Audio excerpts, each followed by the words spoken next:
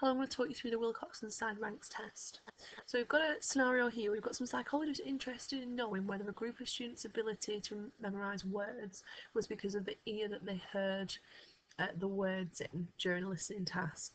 So for example, they've got an audio recording of a list of words and they're randomly presenting words to either the left or the right ear and participants have two sets of scores for the words that they've remembered correctly, one from the left ear and one from the right ear. They've calculated the mean and standard deviation and found that it was positively skewed, so it's not a normally distributed uh, set of results, which means that a non-parametric test is most appropriate to use. And because we've got kind of a participant and we're looking at both the left and the right ear, they're participating in both levels of the IV, so it's repeated measures design. We're also looking at a difference between them so look at the difference between the left ear and the right ear. We're also um, using interval ratio data because the, the scores, how many words were remembered. Now, the first step that you do with this, this test is to calculate the difference between the first condition and the second condition.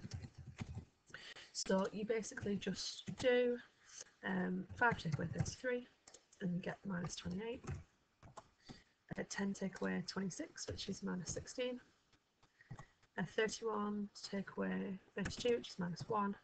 20 take away 32, minus 12. Um, 32 take away 32 is 0. 27 take away 30 is minus 3.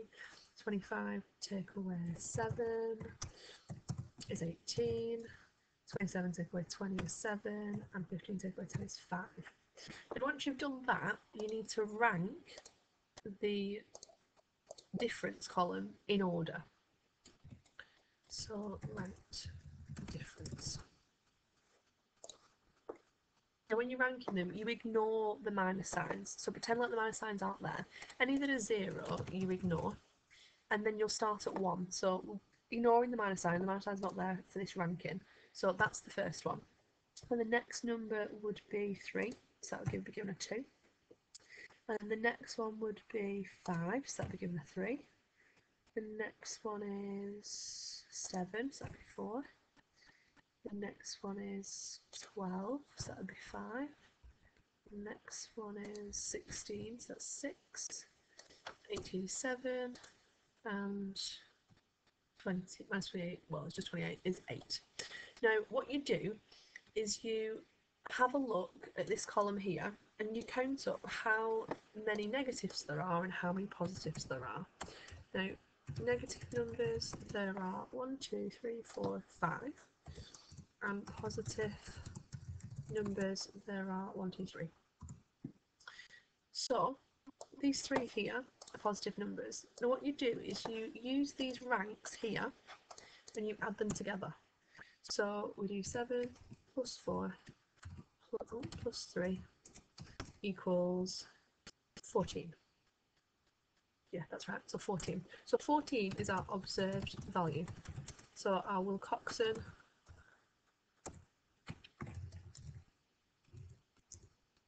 Okay, do Wilcoxon observed value um, is 14. Now obviously we don't just leave it there because we need to calculate the critical value to compare it. Um, and how we do that is looking at this table here. So n is the number of differences. So when we have a look at this, we've got nine participants, but we've only actually got eight differences because one of them is an ignore. So there's eight that are actually different from each other. So we look at eight there and we use 0.05 because generally in psychology, you know, we say that our results have to be 95% accurate and only 5% or less than 5% due to chance because you know there might be some kind of extraneous variables which are a bit different.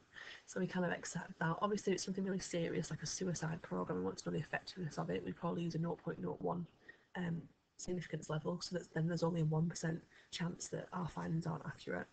Um, but a 0.05 is generally what we use. So our critical value therefore is 4 so our critical value is 4 because our n is 8 because one was ignore and no difference. So we've got observed value of 14 and we've got a critical value of 4. So the final thing is if the observed value is less than the critical value, it is significant. So our observed value is actually greater than our critical value. So therefore it is not significant. There is no significant difference between the words remembered in the left ear and the words remembered in the right now. I hope that's been helpful. If you've got any questions, just uh, let me know.